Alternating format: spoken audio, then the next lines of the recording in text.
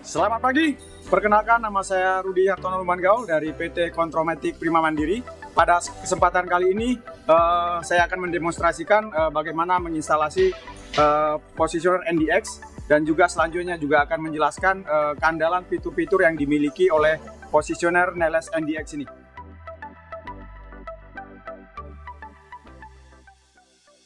NAS NDX ini adalah next generation dari valve controller yang bisa difungsikan di berbagai jenis uh, control valve seperti di rotary maupun di linear dan juga Neles NDX ini memiliki banyak fitur-fitur yang user friendly yang bisa berguna untuk uh, diagnostik valve dan uh, berfungsi sebagai uh, preventive maintenance tools.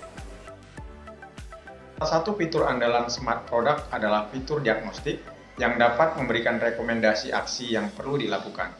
Selain itu, NDX juga dapat merekam event atau event logging yang berkaitan dengan NDX itu sendiri. Sebagai contoh, kekurangan air supply, kehilangan power, dan deviasi antara sinyal dan aktual. NDX menggunakan contactless linkage yang memudahkan dalam instalasi produknya.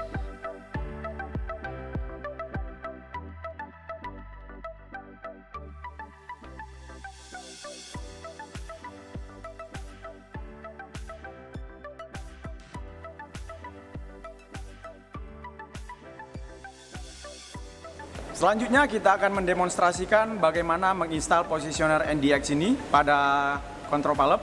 Kebetulan pada saat ini yang kita gunakan adalah uh, Neles Actuator VD series dan dikombin dengan uh, Neles JU series uh, plug valve. Oke. Okay? Namun sebelumnya harus kita persiapkan adalah uh, NDX Intelligent Valve Controller Quick Guide-nya. Ini bisa kita download secara cuma-cuma di valmet.com Oke, ini sebagai acuan kita pada saat instalasi. Selanjutnya kita akan melakukan instalasi terhadap uh, eh, NDX positioner ini ke kontrol valve-nya. Nah, yang pertama kita harus persiapkan tentunya soket cap screw M6 ada 4. Nah, meskipun M6 kita tidak perlu khawatir akan over vibration. Di sini cukup rigid karena ketika terpasang ini ada grup untuk locking terhadap bracketnya. Jadi kekhawatiran terhadap vibration itu kita bisa hilangkan. Nah, sekarang kita akan pasang.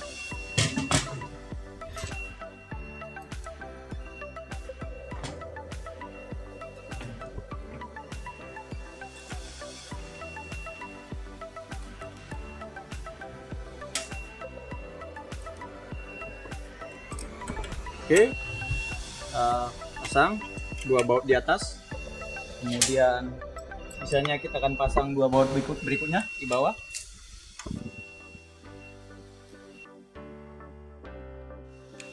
Oke setelah semua terpasang kita akan lakukan tightening. Tightening all oke tightening all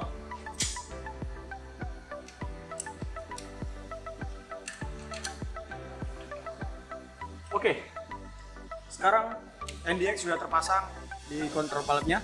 Semudah itu, hanya butuh satu orang untuk menginstal uh, eh, NDX ini. Selanjutnya kita akan lakukan proses instalasi uh, tubing yang sudah kita persiapkan.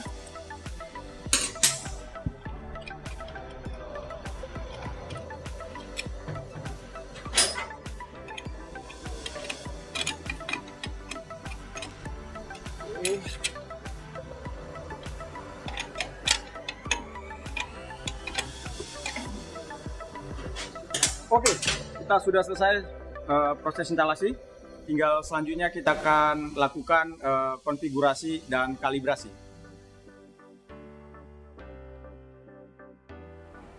Ya, selanjutnya setelah kita lakukan instalasi hardware uh, pada control valve, kita juga tentunya perlu lakukan uh, konfigurasi parameter dan juga kalibrasi.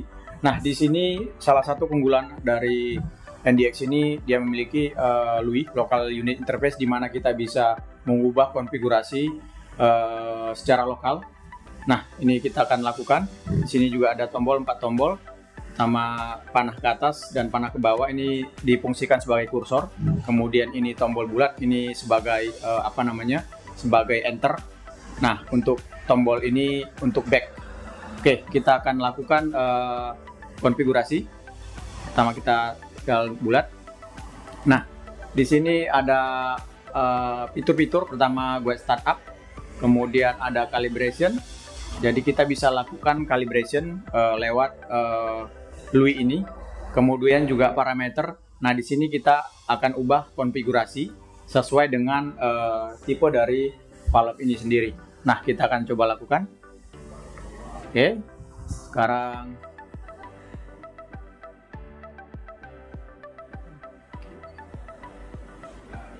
di sini ada pilihan bahasa. Tentunya kita pilih bahasa Inggris karena belum ada bahasa Indonesia dalam uh, fiturnya. Kemudian uh, untuk aktuator tipe kita di sini ada opsi single dan double. Nah, di sini inilah keunggulan dari uh, salah satu keunggulan lagi dari uh, NDX ini di mana dalam uh, ini kita bisa fungsikan sebagai uh, di tipe aktuator single dan uh, double. Nah, dalam hal ini kita fungsikan sebagai single item. Enter. Oke. Okay. Kemudian juga uh, part type. Nah, dalam hal ini kita pasang uh, positioner pada tipe linear. Oke. Okay. Kemudian juga dead angle karena linear maka dia tidak memiliki dead angle kita skip.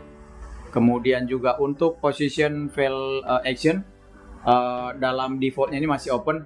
Kita sesuaikan dengan kebutuhan bahwa di sini adalah uh, fail actionnya adalah close maka kita akan ubah menjadi fail close kemudian enter. Oke. Okay. Berikutnya adalah uh, performance performance level. Nah, performance level ini terdiri dari uh, fast action, kemudian stable, maximum stability, uh, optimum.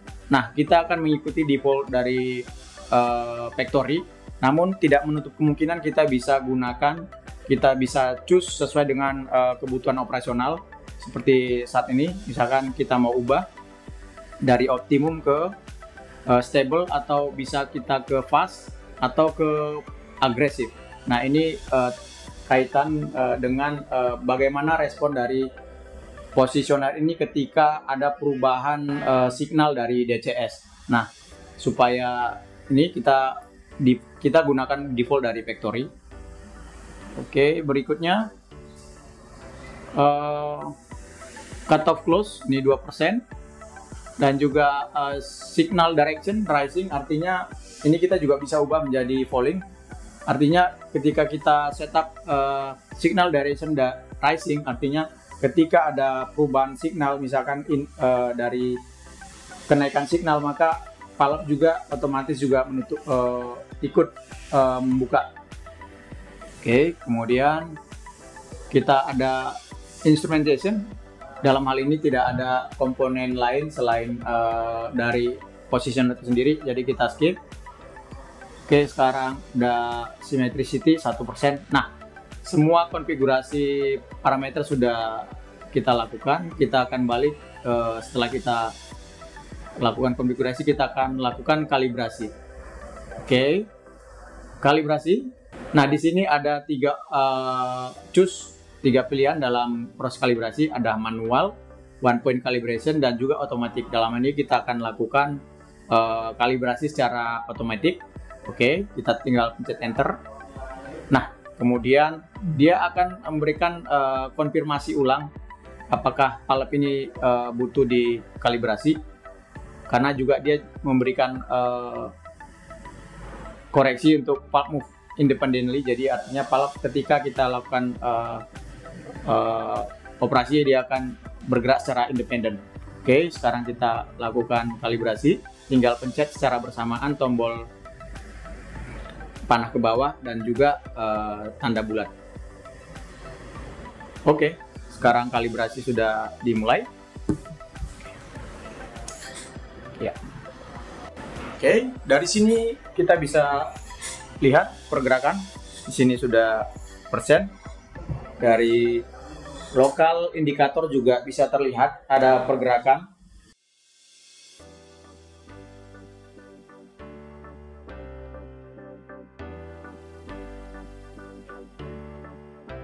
Oke, sudah 99%.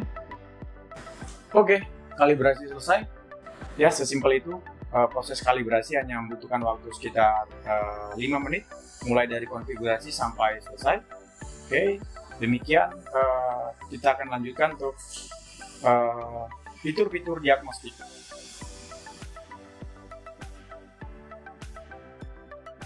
Ya, fitur-fitur diagnostik dalam NDX ini kita bisa maksimalkan dengan cara pertama kita bisa uh, gunakan berat tools contohnya untuk uh, hard modem kemudian juga ini protokol yang kita gunakan untuk komunikasi dari posisioner ke laptop.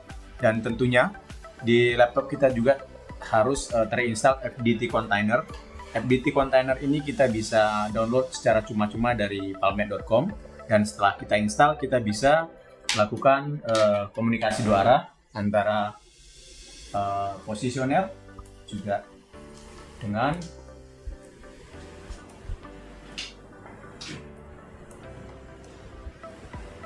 dengan laptop. Oke. Ini USB connection. Nah, begini tampilan kira-kira dari eh, fitur-fitur uh, diagnostik. Kita bisa melihat performa, kemudian juga online vaccinator. Kemudian kita juga bisa monitoring secara online dan salah satu fitur keunggulan lainnya adalah event log. Kita bisa mengetahui eh, event-event uh, yang terjadi terhadap control valve ini sendiri. Contohnya, tadi kita sudah lakukan uh, kalibrasi pada jam 11.27 yaitu tanggal 12. Ini semua terikut di sini. Jadi semua kejadian misalkan uh, calibration successful, kemudian uh, low power supply pressure itu semua tercapture dalam fitur diagnostik ini. Kemudian juga dari sini juga kita bisa melakukan uh, online testing, offline testing. Nah, on, offline testing ini sendiri memiliki keunggulan dan bisa kita uh, simpan datanya. Jadi sehingga pada saat baru terpasang kita bisa capture data dan pada saat satu tahun berikutnya kita bisa ambil data juga dan kita compare uh, antara data yang satu tahun yang lalu dan kita compare dengan data yang sekarang. Nah, kira-kira itu salah satu keunggulan dari uh, fitur-fitur yang dimiliki oleh uh, NDX ini. Demikian demonstrasi singkat uh, bagaimana menginstalasi positioner NDX ini pada control valve, juga uh, penjelasan tentang fitur-fitur yang dimilikinya dan uh, jika ada kesulitan atau pertanyaan yang uh, perlu kami support, kami siap untuk uh, menjawab dan silakan ditanyakan pada email berikut ini.